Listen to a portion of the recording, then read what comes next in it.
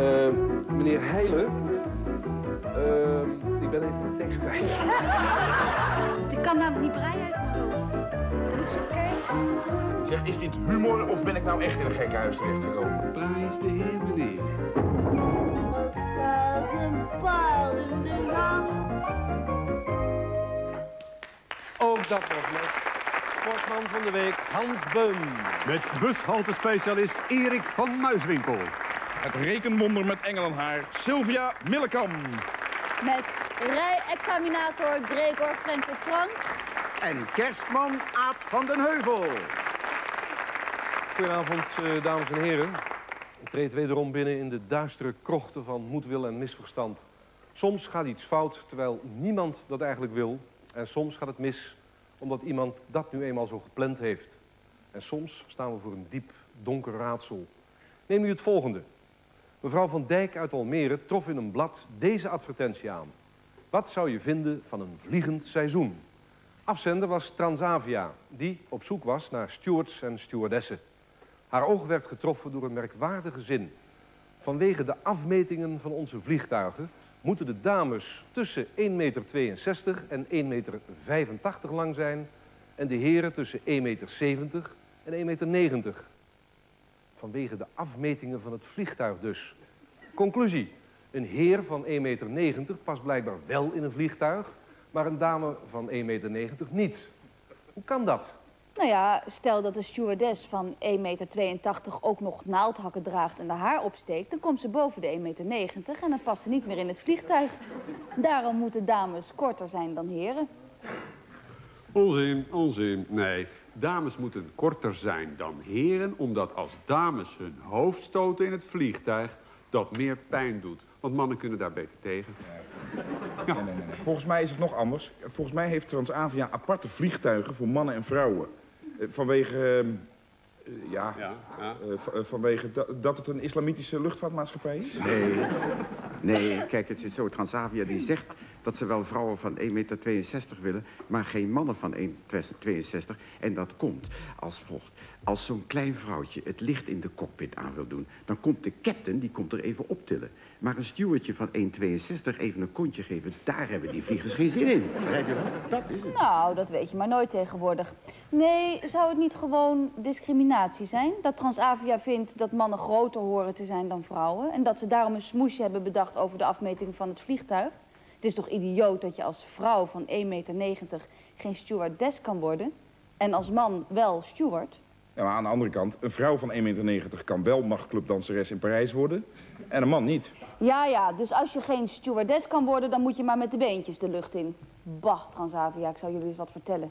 Stewardessen van 1,90 meter zijn juist veel handiger dan die kleine propjes die jullie het liefst willen hebben. Want lange vrouwen hebben minder last van hoogtevrees, omdat ze het al gewend zijn. Dus ik zou zeggen, dames van 1,82 meter en langer... allemaal solliciteren bij Transavia. Samen krijgen we ze wel klein.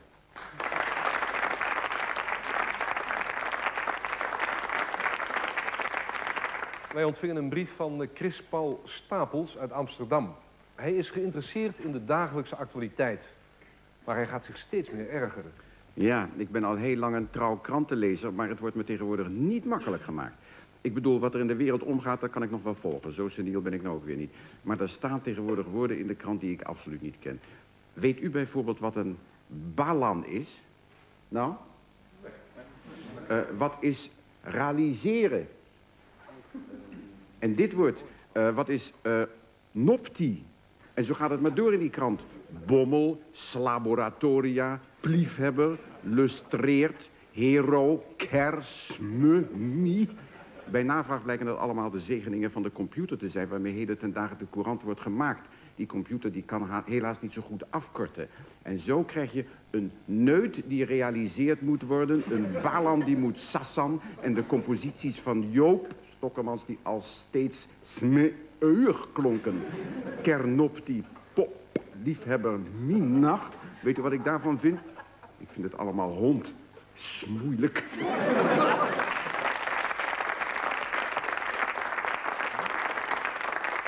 Kranten worden door onze kijkers zorgvuldig gelezen, advertenties nauwkeurig bestudeerd. En zo komt de volgende rubriek iedere week weer tot stand. De heer Bulet maakte ons attent op een folder van de firma Impodra uit Den Haag. Hierin wordt de vraag gesteld...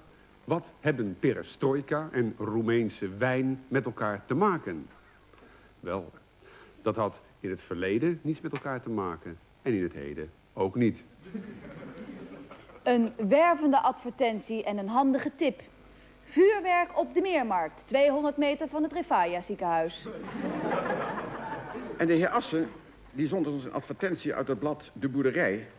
Stevige boerenzoon, 21 jaar, zoekt kennismaking met stevige boerendochter met een flink melk. Het blad Story houdt niet van Willem Nijholt. Zie deze kop. Het gaat goed met Willem Nijholt. De hoofdrolspeler uit de succesvolle musical Cabaret heeft ernstige problemen met zijn stem.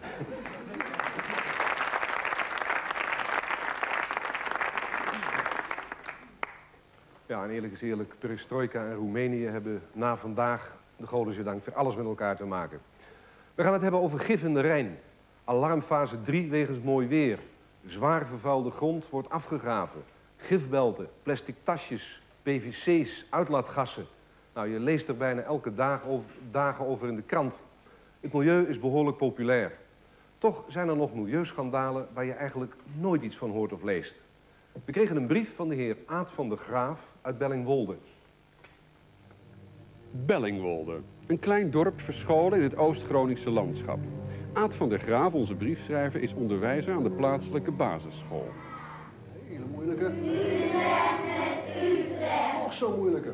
Groningen met Groningen. En dan dit stuk. Oost-Groningen. Een stukje vergeten Nederland. Daar hoor je haast nooit wat van. Je ziet het nooit in het nieuws. Ten onrechte, vindt Aad van der Graaf. Want dwars door Oost-Groningen stroomt dit kanaal. Wat u ziet is geen sneeuw. Dit kanaal is gewoon ontzettend smerig. In het water leeft niets. Ze moeten hier maar een keer komen kijken. Volf is hier een keer geweest. Die is echt met zijn neus dichtgehouden toen hij uit de wagen stapte. Je, wat een stank. Dit is de boosdoener. AVB, de voor Oost-Groningen zo belangrijke aardappelmeelindustrie. Het afvalwater van deze fabriek bevat grote concentraties fosfaat en nitraat.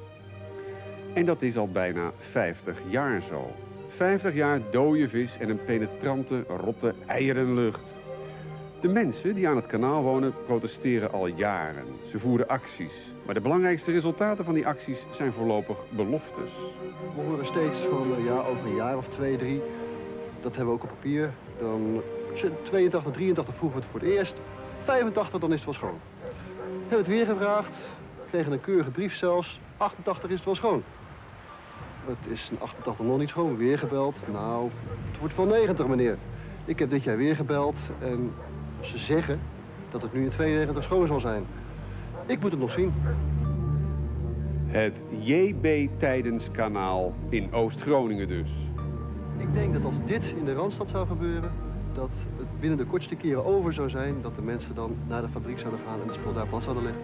Dit kan echt niet. Deze stank die hier is, dat pikken ze daar niet. Daar wonen veel meer mensen. Daar wordt er wel wat aan gedaan. Zoals onze briefschrijver al zei, Oost-Groningen, een vergeten stukje Nederland met ook dit jaar een witte kerst.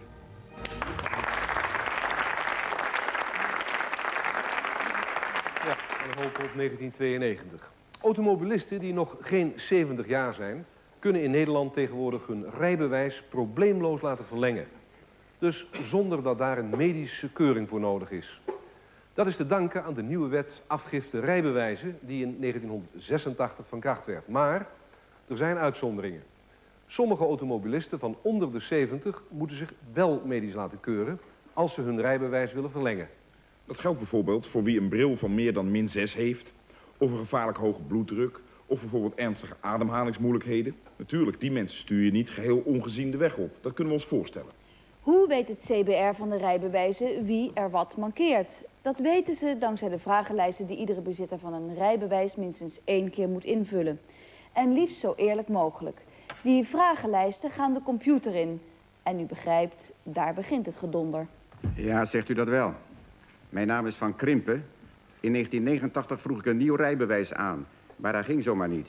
Er was voor mij een gezondheidsverklaring nodig. Ik zeg, hoezo een gezondheidsverklaring? Ik ben toch nog geen 70 en zo gezond als een vis. Dat kost allemaal extra geld en tijd. Kom op met dat nieuwe rijbewijs van me. Nee, nee. Het CBR heeft helaas twijfels over u. Hoezo? Ik mankeer niks. Ach, kom. Niet zo optimistisch, eh, meneer Van Kempen. U bent in 1984 toch ook al gekeurd? En goedgekeurd, dacht ik zo. Uh, maar in 1984 heeft u helaas, ik zeg helaas, twee vragen met ja ingevuld. Oh ja? Welke dan? Uh, dat vertellen wij niet. Dat is een medisch beroepsgeheim. Mag ik het raden? Dat ik 40 jaar geleden TBC heb gehad? Uh, warm, warm, ja. Maar ik ben, in... maar ik ben intussen genezen, hoor. Dat was ik in 1984 ook al en toen kreeg ik mooi een nieuw rijbewijs. Ho, ho. Maar er was nog meer. Die TBC was er één. Maar u heeft twee keer ja ingevuld. Nee, toch? Meneer bedoelt dat ik 20 jaar geleden terug last van mijn ogen heb gehad. Dat ik daarom anno 1989 geen rijbewijs kan krijgen. Terwijl er in 1984 volgens het CBR, dus, dus volgens u, al lang niks meer aan de hand was. Beslaat dat op? Uh, dat is ons medisch beroepsgeheim. Ja, afpersing is het. Lekker keuringjes meepikken en verklaringjes verkopen voor 23,70 om al die domme mensen te straffen die ooit een vraagje eerlijk met ja hebben beantwoord. Ik word er niet goed van, weet u dat? Doodziek word ik ervan. Oh ja, dan moest u zich toch maar even laten keuren. Mevrouw Siebenlis Numan uit Badhoevedorp overkwam iets soortgelijks. Ook zij had trouwhartig ooit ingevuld dat ze in 1946, zoals toen zoveel vaderlanders, TBC had gehad. En moest anno 1989 verplicht voor de CBR-keuring verschijnen. Ja, natuurlijk. Wij willen absolute zekerheid. Dus u denkt dat de kans bestaat dat mevrouw nog steeds TBC heeft? En dat dat tussen 1946 en nu niemand is opgevallen? Ik zeg, en de wet vereist dat ook, wij willen absolute zekerheid. Het CBR dwingt, zo lijkt het, tamelijk willekeurig automobilisten tot een medische keuring die hen extra tijd, geld en ergernis kost. En het medisch beroepsgeheim zorgt dat het CBR altijd aan het langste eind trekt. Misschien niet zo'n ideale situatie. Zegt u dat wel? Mijn naam is mevrouw Brand de Raad. In 1965, 24 jaar geleden, deed ik rijexamen. Na dat rijexamen werd ik naar de oogarts gestuurd, want wat bleek, ik kon één nummerbord niet lezen. Maar intussen heb ik al 24 jaar een nieuwe bril. Een hele gewone standaardbril. Het punt is, dat gelooft het CBR niet. Die denken dat ik nog steeds die bril uit 1965 op heb. Want toen mijn rijbewijs werd gestolen, kon ik mooi geen nieuwe krijgen. Ik moest me eerst medisch laten keuren. Dat is toch achterlijk? Vraagje, mevrouw. Heeft u gezien dat uw rijbewijs werd gestolen? Nee, natuurlijk niet. Niks gezien? Wil maar zeggen, hè? En als ik nog even mag. Die 23,70 hebben ze me laten betalen voor een keuring die neerkwam op het natellen van mijn armen en mijn benen. Want de rest was al jarenlang bekend. Dus dan zeg ik, het is gewoon een verkapte manier om eerlijke mensen van de weg te weren.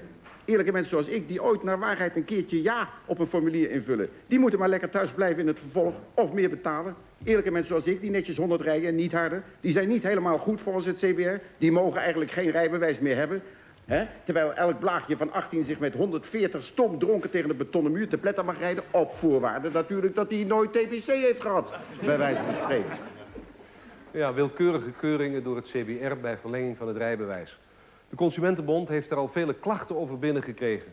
De computer kan misschien geen onderscheid maken tussen een TBC uit 1946 en een hartaanval uit 1988. Maar de mensen van het CBR zouden dat wel moeten kunnen. En zo niet, dan zouden ze toch eens dringend gekeurd moeten worden. Ja, soms worden wij geconfronteerd met een probleem waar ook wij niet uitkomen. Mevrouw Pijnenburg uit Geertruidenberg die stuurde ons de volgende rekensom. Mijn dochter van groep 8 kreeg van haar basisschool een rekenopdracht waar wij niet uitkomen. Hoeveel is 24 gedeeld door 4 maal 3? Ja, ja. 24 gedeeld door 4 maal 3. Nou, dat is uh, 18. Hè? 24 gedeeld door 4 is 6 maal 3 is 18. Ja, dat zei de school van mijn dochter ook, maar de wiskundeleraar van het gymnasium gaf een heel ander antwoord. 24 gedeeld door 4 maal 3 is, 4 maal 3 is 12. 24 gedeeld door 12 is 2. De uitkomst is 2. Ja, ja. Nee, dat is onzin. Nee, het moet gewoon toch 18 zijn. Uit. Basta. Niks 18. Ik heb de VU gebeld en ook nog het ministerie van Onderwijs. Die kwamen er allemaal niet uit, die suffers. 24 gedeeld door de 4 maal 3 is 2. Punt uit. Ja, dag. Het is 18. Het blijft 18. Het zal altijd 18 zijn. Mond houden verder. 2. 24 gedeeld door 4 maal 3. Ook wij probeerden een oplossing te vinden. We belden met de minister van Financiën, Wim Kok. En die zei... Vraag het maar aan Lubbers, die kan pas rekenen. Dus eh, hebben we Lubbers gebeld en die antwoorden... Ehm, eh, vraag het maar aan Kok, die zegt dat hij kan rekenen. Goed, laatste oplossing. De rekenkamer dan. Weet meneer Cordes het? Eh, geen idee. Maar wat het ook wordt, 2 of 18, wij zullen er geen genoegen mee nemen. Ja, ten einde raad belde met iemand die pas echt kan rekenen. De bekende zakenman Maup Carranza. Ja, ik vind het helemaal niet zo moeilijk. Als je het krijgt is het 18 en als je moet betalen is het 2.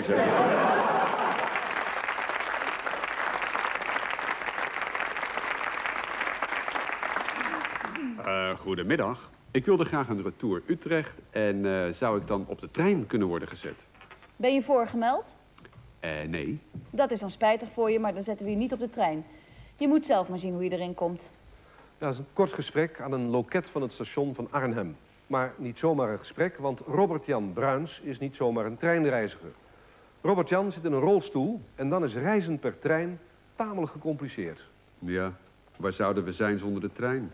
Het klinkt mooi, maar voor iemand zoals ik, die in een rolstoel zit, is het vaak minder mooi. Bij de Nederlandse spoorwegen moet je een treinreis 24 uur van tevoren doorgeven, naar een centraal nummer. Die geven het dan door aan de desbetreffende stations. En daar is dan hulp aanwezig om je op de trein te zetten. Ja, dat klinkt eh, alleszins redelijk, vind ik toch? Ja, maar dan gebeurt het maar heel vaak dat er, alhoewel je je hebt aangemeld, niemand staat. Dan kom je de trein niet in. Dat is heel vervelend. Maar nog vervelender is als er niemand staat om je te helpen om uit de trein te komen. Zijn ze toevallig vergeten om je uit de trein te halen? Dat is heel spijtig. Zit je in Lage Zwaluwe en de woont mijn zus niet. Ja, er zijn duizenden treinreizigers als eh, Robert Jan... voor wie het reizen per trein niet zo eenvoudig is. Niet zo eenvoudig als voor u of mij. Dit is Jannie Marsman uit het Overijsselse Ane. Jannie is 28 jaar oud en lichamelijk gehandicapt. Ik heb op mijn 19e een auto-ongeluk gehad. Ik heb mijn rug gebroken en sindsdien zit ik in een rolstoel. Vandaag gaat Jannie samen met haar vriendinnen Zwaantje en Dini boodschappen doen in de grote stad. De reis gaat per trein van Hardenberg naar Enschede. Uiteraard heeft Jannie de spoorwegen 24 uur van tevoren op de hoogte gebracht van haar plannen. Ik wil morgen graag met de trein naar Enschede toe. Kan dat? De reis begint dus in Hardenberg. Een loketbeambte helpt, na enig heen en weer gepraat, Jannie in de trein. Op naar Marienberg. Daar moet het gezelschap overstappen. Dini en Zwaantje vragen de conducteur, kunt u even helpen? Maar de conducteur zegt, nee, ik heb last van mijn rug. Nu wordt er eh, ja, hulp gevraagd van de passagiers. Mijn vriendinnen, gelukkig heb ik de vriendinnen bij me, zijn op zoek naar hulp, zodat ik eruit kan. Afhankelijk dus van de goedwillendheid van de medepassagiers en de conditie van de conducteur. Voor alle duidelijkheid, Jannie reist nu in gezelschap. Zou ze alleen reizen, dan moeten er dus drie vrijwilligers worden gezocht. De reis gaat verder. Er moet nog een paar keer worden overgestapt.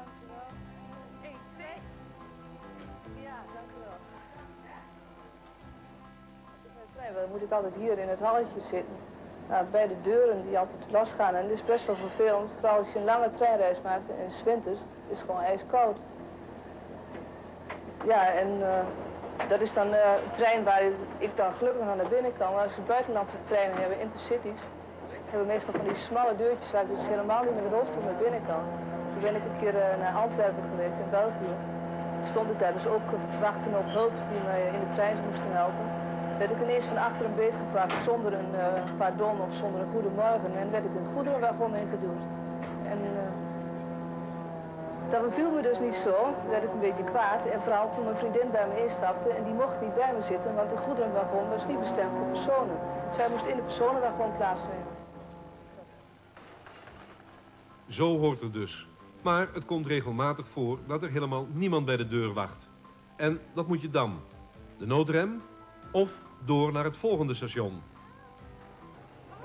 Ik zal in mijn eentje niet ergens naartoe durven te reizen. Ik ben veel te bang dat ik in de trein blijf zitten. Dat ze me vergeten eruit te halen. Veilig en wel aangekomen in Enschede. Daar gaat Jannie naar het inderdaad aanwezige invalide toilet. Nou, altijd heel moeilijk. De deuren zitten altijd op slot en ik moet de sleutel, weet ik, waar altijd weghalen. Nu ben ik op het eindstation, dus heb ik alle tijd. Maar vaak heb ik net vijf minuten tijd tussen het overstappen met de treinen. Dus dat betekent voor mij of de trein te missen of een natte broek halen. Dus dat is heel vervelend.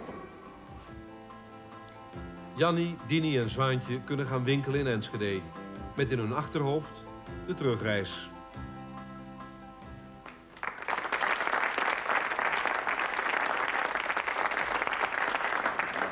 De catalogus van de Nederlandse Boekenclub pronkt niet alleen met boeken, maar ook met compact discs. En wel maar liefst de Classic Compact Disc Collection. Met drie gratis cd's, een opbergbox en een fraaie cd-broche. En u kent Kees van Drongelen, presentator van het bekende tv-programma Jongen Mensen op weg naar het concertpodium. Nou, die zegt hierover... U weet, ik ben kritisch. Ik heb dan ook met verbazing geluisterd naar deze fantastische cd-collectie. Zuiverheid, perfectie, topkwaliteit. Hm. We geloven het wel dat meneer Van Drongelen de hele collectie heeft afgeluisterd. Maar meneer Van Rooij uit Waalwijk kon de verleiding niet weerstaan. Hij tekende in, kreeg inderdaad opgestuurd die fraaie cd-broche. Maar een dag later schreef hij de volgende brief naar de boekenclub. Mijn heren, aan de intekenaars op uw serie CCC Compact Disc beloofde u als inschrijvingspremie een CD-broche. Uit uw folder citeer ik. Een CD wordt van een bijzonder materiaal vervaardigd. U ontvangt gratis dit eigentijdse sieraad dat van echt CD-materiaal is gemaakt. Een origineel geschenk voor uzelf of om cadeau te geven. Een prachtige belofte, maar wat blijkt? De broche, het eigentijdse sieraad van echt cd-materiaal... blijkt een doodordinair reclamespeltje te zijn... zoals die door allerlei firma's bij honderden tegelijk worden uitgedeeld. Materiaalwaarde een dubbeltje, handelswaarde misschien een kwartje. Bijzonder materiaal. Een wit plastic plaatje met erop een stukje glimmend blik. Eigentijds sieraad. plastic wegwerpspul, dat zou je eigentijds kunnen noemen, maar sieraad? Nee.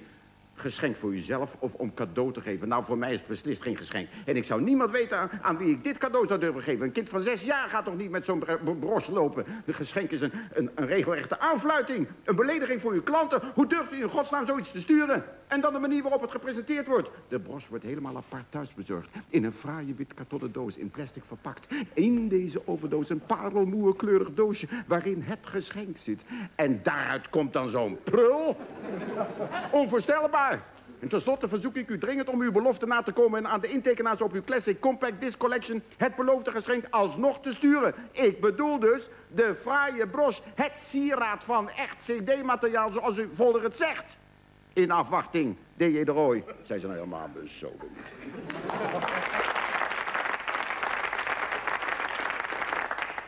Nou, ons bereikte een reeks boze brieven over Renaware pannen. Nou, mankeert er niks aan die pannen, maar wat is er dan aan de hand? Wel, die pannen komen uit Amerika. Er was, let wel, er was een Nederlandse vestiging van het bedrijf in Woerden.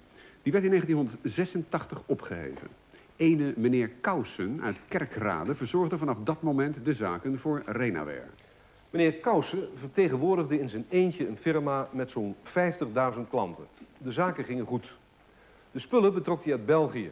Daar zit nog een vestiging van het bedrijf. Geen vuiltje aan de lucht, meneer Kousen? Eh, nee, totdat ik meneer Pijper uit de Aar in dienst nam. Daar kreeg ik snel spijt van, omdat hij mij belazerde. Ik heb hem ontslagen in, eh, in juli 1987. Nou, opgeruimd staat netjes. Einde van de problemen, neem ik aan. Oh, breek me de bek niet open, zeg. De ellende is toen pas echt begonnen. Die Pijper die heeft namelijk beslag weten te leggen op het hele klantenbestand. Nou, dan kunt u zeker wel raden wat er gebeurde. hè. Ja, volgens mij ongeveer dit. Ah, eens even kijken, waar zal ik vandaag weer eens naartoe gaan? Eh, ja, Den Ham. Lekker klein dorpie, dorp van niks, maar wedden dat er heel wat tevreden klanten wonen. Meneer Pijper stuitte in zijn adressenbestand op mevrouw Hamkamp. Dag mevrouwtje, mag ik mij even voorstellen? Pijper van de Renaware. Ja, service mevrouwtje, service. We komen eens even informeren of u tevreden bent over uw pannenset. Nou, komt u maar even binnen dan. Fijn, fijn, fijn. Zo mevrouwtje. Nou, ik zie het al. Ik kom als geroepen.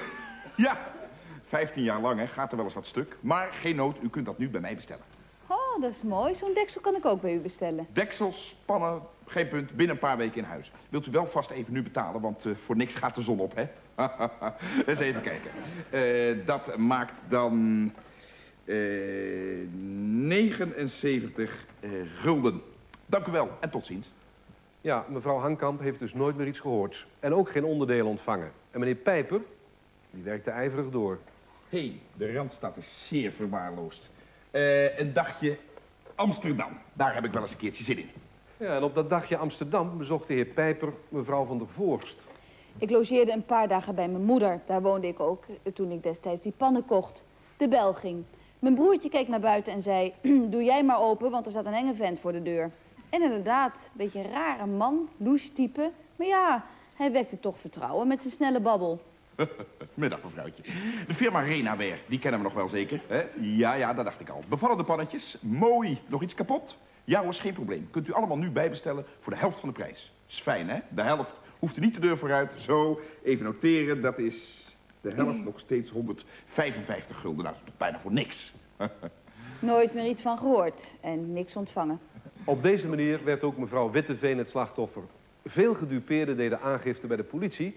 of belden met meneer Kousen, de Renaware-vertegenwoordiger uit Kerkrade. Oh, wij worden er echt helemaal gek van. Tientallen telefoontjes per dag uit het hele land. De naam van het bedrijf wordt door die meneer Pijper besmeurd. De politie zit al achter hem aan. Ik heb de economische controledienst een pakket met klachten gestuurd... maar die man is keihard. Die is gewoon niet te stuiten. En, inderdaad, Fantastisch. Bestand met 50.000 klanten. Ik kan nog jaren vooruit. Zo, morgen maar eens naar het, naar het Brabantse land. Eens eventjes kijken.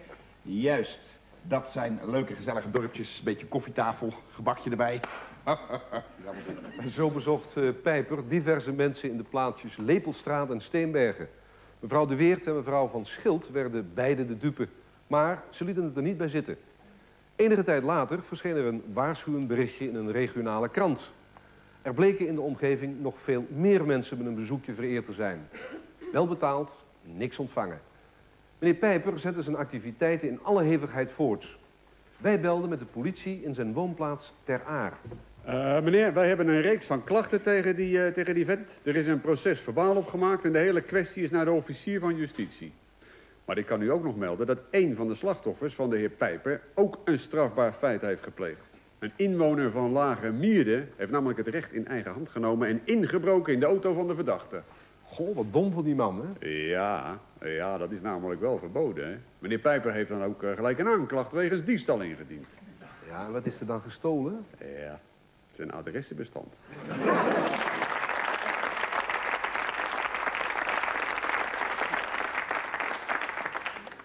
Wat vonden wij met het oog op de ras naderende kerstdagen in krant en weekblad? Allereerst valt er heel wat te smullen. U kunt bijvoorbeeld heerlijk warme kip bestellen. En bij wie? Bij polier Henri Konijn. U kunt ook bij de Chinees gaan smikkelen. Tong in zoutzuursaus. En mocht u dat te heet worden, dan kunt u in restaurant La Calèche altijd heerlijke varkenshaar met pepersaus bestellen. En wat ook niet te versmaden valt, is de grote muur... waar u voortreffelijke gebakken Chinees wantan kunt eten. En bij Polier Damen in Budel moet u met uw bestelling maar even tot morgen wachten... want hij laat weten, bij tijdige bestelling hoeven wij u niet. Sjaak Bakker signaleerde deze kerstdagen in een klein Belgisch dorpje een vreemde biechtvader. En in Veldhuizen zijn ze geheel in de war. Daar organiseren ze op 26 december een kerstherberg op tweede paasdag. In Deurne, schrijft de heer Maas, wordt iets weemoedigs aangeboden. Tweedehands kerststal. Slechts eenmaal bijgezongen. en, zo laat Annemie Konings ons weten... in het Ignatiushuis in Amsterdam vragen ze iets bijzonders. Kindje Jezus, mannelijk of vrouwelijk.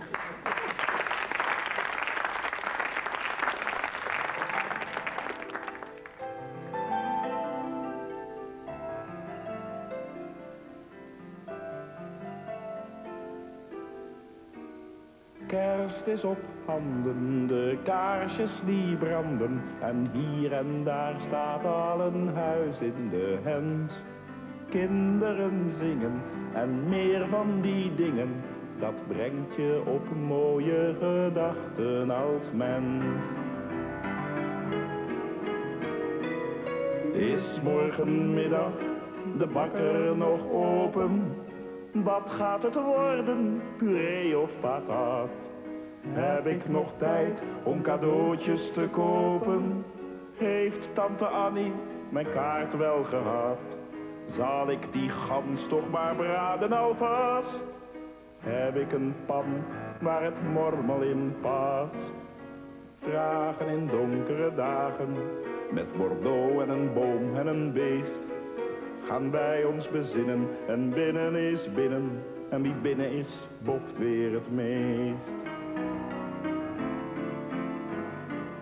Kerst is op handen, familieverbanden gaan stilaan weer tellen en knellen. En hoe strijdpijlen rusten, we gaan ervan lusten en komen weer aan over pijnzingen toe. Wie heeft die plaat van Bing Crosby gebroken? Komt Kees alleen of alweer met die meid? Moet ik voor dat zootje uren staan koken? Krijg ik dat kaarsvet nog uit mijn tapijt? Wie brengt na afloop straks opa weer thuis? Heb ik genoeg aspirine in huis? Vragen in donkere dagen, met Bordeaux en een boom en een beest. Gaan wij ons bezinnen en binnen is binnen en wie binnen is, boft weer het meest.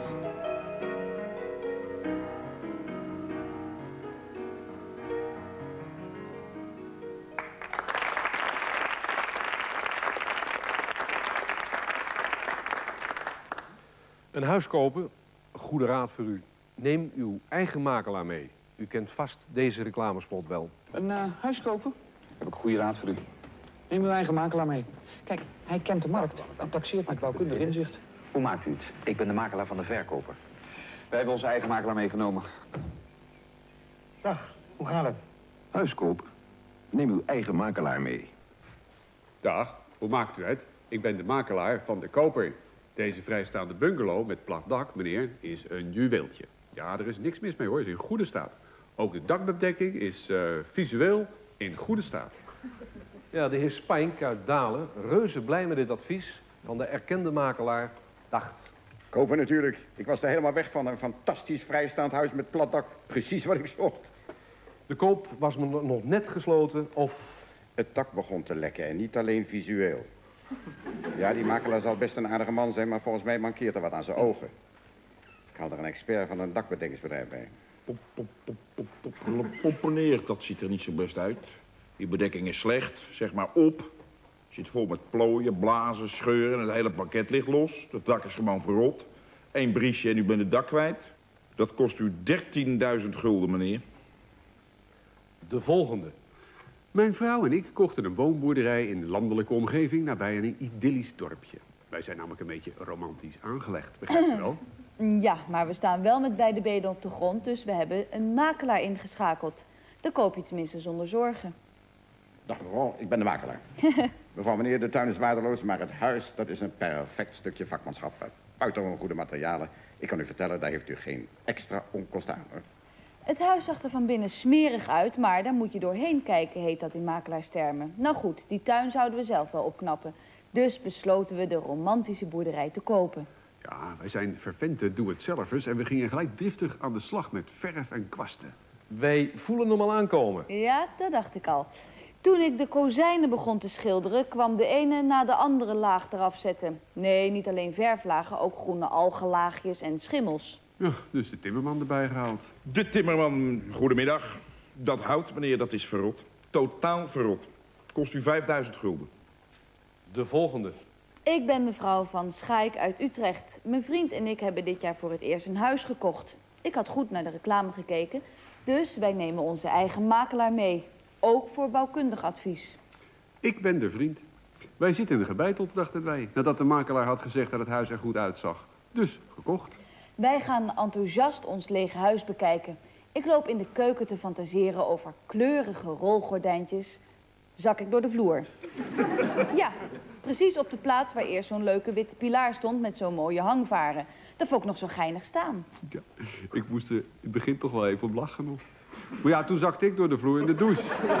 Ja, wat bleek? De plankenvloer in de douche en in de garage en in de gang. Overal, dat was helemaal kapot, verrot. Goed, goed, hou maar op. Ik geloof dat ik het al begrijp. Zelfs een makelaar met een NVM-vignet maakt wel eens een foutje.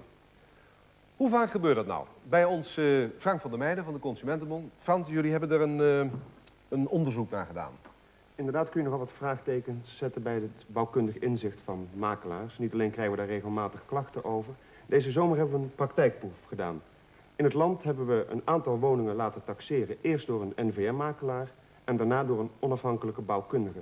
En wat bleek nu, in de helft van de gevallen hadden de makelaars gebreken over het hoofd gezien. En dat ging zelfs zo ver dat in een woning die 60.000 gulden moest komen... die volgens de makelaars prima tot redelijk in staat was... maar volgens de onafhankelijke bouwkundige zou dan voor maar liefst 30.000 gulden aan vertimmerd moeten worden. Het is eigenlijk hetzelfde als wanneer je een auto gaat kopen. Als we een tweedehands auto kopen, dan is iedereen er wel van overtuigd... dat je die eerst moet laten testen door de ANWB.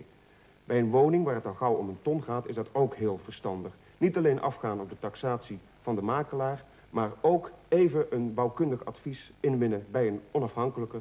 bijvoorbeeld bij de uh, vereniging Eigen Huis. Frank van der Weijden, bedankt. Mevrouw Voogd, uh, u woont in Zandam en op uw dag was uw auto weg. Op 16 augustus werd er bij mij ingebroken. Er werden allerlei spullen gestolen. En omdat de dief kennelijk een handige jongen was, stal die mijn auto er ook maar bij. Kon die makkelijker mijn spulletjes meenemen. Het was een Suzuki TR77GP. Ja, dat nummer weet u nog precies, hè? Meneer, het zal u zo meteen duidelijk worden. Dat nummer kan ik helemaal niet vergeten. Ik meldde de diefstal bij alle officiële instanties. Nou, het lijkt eenvoudig. U zult wel een probleem hebben, want anders zat u niet hier. Vijf dagen later kreeg ik een bon van de Amsterdamse politie. Mijn dief had even op het trottoir geparkeerd of ik maar wilde betalen. Ja, en toen belde u uiteraard met Amsterdam. Heel goed. En daar kreeg ik de goede raad de bon en het procesverbaal terug te sturen.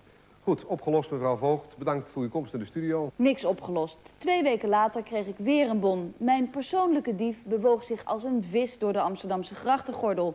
Ik besloot dus ook deze bekeuring maar weer terug te sturen... met een aparte brief waarin ik de zaak nogmaals uitlegde. Ja, en dat kwam aan? Ja, bij mij. Want ik kreeg alvast een aanmaning voor die eerste bon. In Amsterdam kwam helemaal niks aan. Ja, wel bij u. Zeg dat wel, want toen kreeg ik een derde bekeuring... en meteen een aanmaning voor die tweede bon.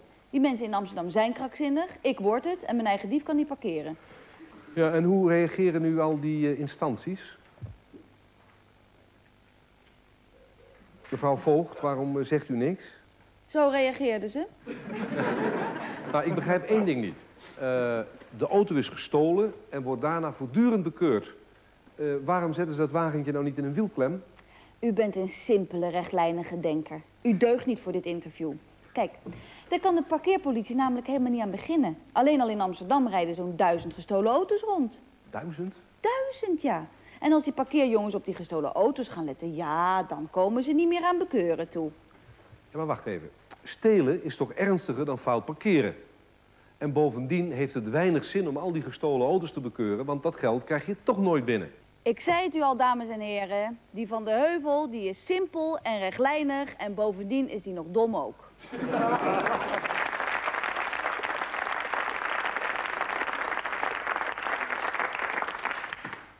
wat berichten van het voetbalfront. Soms zie je de opstelling van een elftal en dan denk je met enige weemoed terug aan bekende namen als Lenstra, Wilkes, Kruif en Van Basten. Nou zag het elftal van Haarlem, de jongsteden zaterdag er als volgt uit. Bouwens, Holverda, Looyer, Bakker, Matahei, Met God, Sion, Trustvoel, Tevreden, Koffijberg, Dikstaal, Puperhart en Helen Klaken. Trainer Bordewijk. Positie op de ranglijst, geheel onderaan.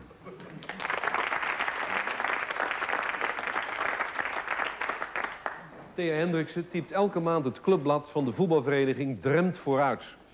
Nou zijn typistes van clubbladen meestal heel wat gewend. Maar de voorlopige promotie-degradatieregeling voor het zondag amateurvoetbal werd er bijna te veel. Hoe zal dat in de kleedkamer wel niet ontvangen worden? Zo mannen, we gaan er weer op. Het gaat tegenaan vanmiddag. Lekker weer, het veld is een beetje glad. Dus let een beetje op doorschieten. Hè? En bij wind tegen, bal laag houden. Denk je erom? Goed. Beum, ik wil geen geëikel achterin vandaag. Als je in de problemen komt, pst, die bal in de tribune. Circuskunstjes ga je maar naar Bottini. Goed? Frinkel Frank, ouwe lul. Zet die bril recht als je uitloopt. Ik heb geen zin om nog een keer met die brunga de kou in te gaan. Nou, mooi zit ik toevallig nog in de basis. Hoor. Van de Heuvel, wakker worden. Jongen, de broekje mag best een keer vies worden vandaag. hè? Slijdings van 4 tot 6 meter toegestaan, hoor. Zo, goed. Tot zover het gebeuren binnen de lijnen. Als we allemaal klaar voor zijn, gaan we nu even over tot de positie op de ranglijst. Even kijken. We hebben 12 gespeeld. 17 punten, 27 kolen voor, 19 tegen. Betekent dus dat we nog steeds kunnen promoveren als we een beetje het best doen. Ik heb hier de voorlopige promotiedegradatieregeling zonder amateurvoetbal in het seizoen 1989 en 1990. Als we even opletten, ja, lees ik even voor hoe we uit deze klasse kunnen geraken. 1. De competitie voor klassen, bestaande uit 12 elftallen, ja, zijn wij dus, wordt in drie periodes verdeeld. Te weten, een eerste periode van acht wedstrijden, hebben we gehad. Een tweede periode van zeven wedstrijden. En een derde periode van zeven wedstrijden. Punt 2. De periodekampioen van een klasse spelen A. Een halve competitie om het klasseperiodekampioenschap. Dan wel B. één wedstrijd om het klasseperiodekampioenschap. Zie punt 9b. 3. De klasseperiodekampioen speelt met de klasseperiodekampioen van de naastliggende klasse een beslissingswedstrijd voor een plaats in de naast hogere klasse. Zie hiervoor de promotie-degradatieregeling. 4, 5, 6, 7, 8. Ja, 9a. Indien er drie verschillende periodekampioenen zijn, waaronder niet de klassekampioen, dan wordt er tussen deze drie elftallen een halve competitie gespeeld om het klasseperiodekampioenschap. Indien er twee verschillende periodekampioenen zijn, waaronder niet de klassekampioen, dan wordt er tussen deze twee elftallen een beslissingswedstrijd. Zijn we er nog bij? Dan gaan we even door.